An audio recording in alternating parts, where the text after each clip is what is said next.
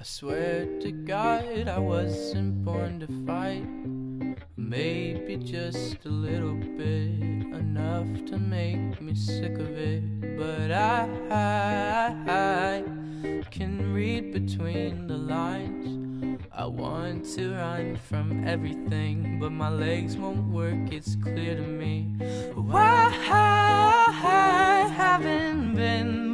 Myself, and I feel like my friends are being put through this hell feeling.